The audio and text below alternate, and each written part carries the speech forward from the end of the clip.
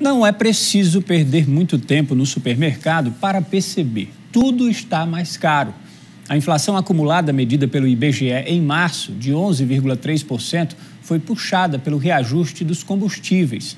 Mas os alimentos também seguem nas alturas. A alta do tradicional prato feito, o queridinho dos brasileiros, foi ainda maior, de 23%, mais que o dobro do acumulado do Índice Nacional de Preços ao Consumidor Amplo. A cantina de Dona Francisca tem quase 25 anos e por aqui ela serve café, lanches e almoço até o final do dia. O espaço que fica no Mercado Central tem um prato feito que está custando 15 reais. Mas há cinco meses o valor era outro, 12 reais. O povo quer pagar menos, mas não entende o custo que a gente está comprando. Porque todo dia aumenta a carne, a verdura, a fruta, tudo. O gás, o gás estava aumentando quase toda semana. A gente está pagando 120 reais no gás, agora baixou mais 5, aí pronto, a gente está pagando 115, mas a dificuldade é grande. A população sente no bolso aumento nos preços do mercado e também os donos de restaurante e pequenos estabelecimentos. A situação na cantina de Dona Rezende é parecida com a de Dona Francisca. Para ela, tudo está difícil e caro. O prato feito, por exemplo, custa R$ 13,00 e a quentinha, R$ 8,00.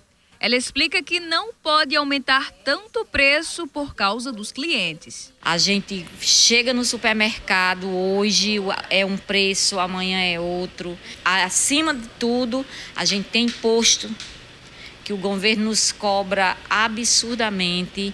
E para mim me manter no Simples Nacional, eu preciso ter os meus impostos pagos.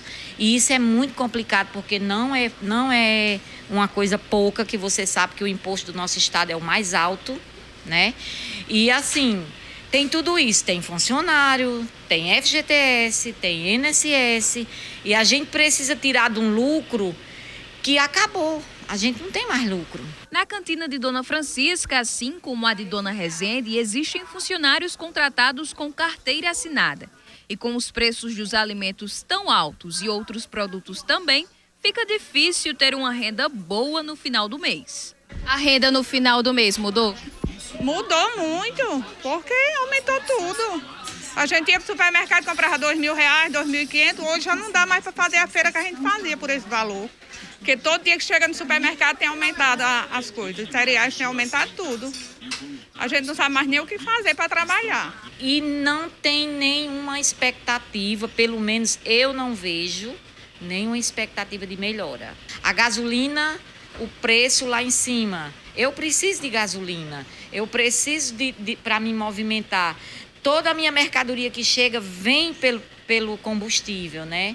E é tudo isso, tudo muito difícil, não tem nada fácil.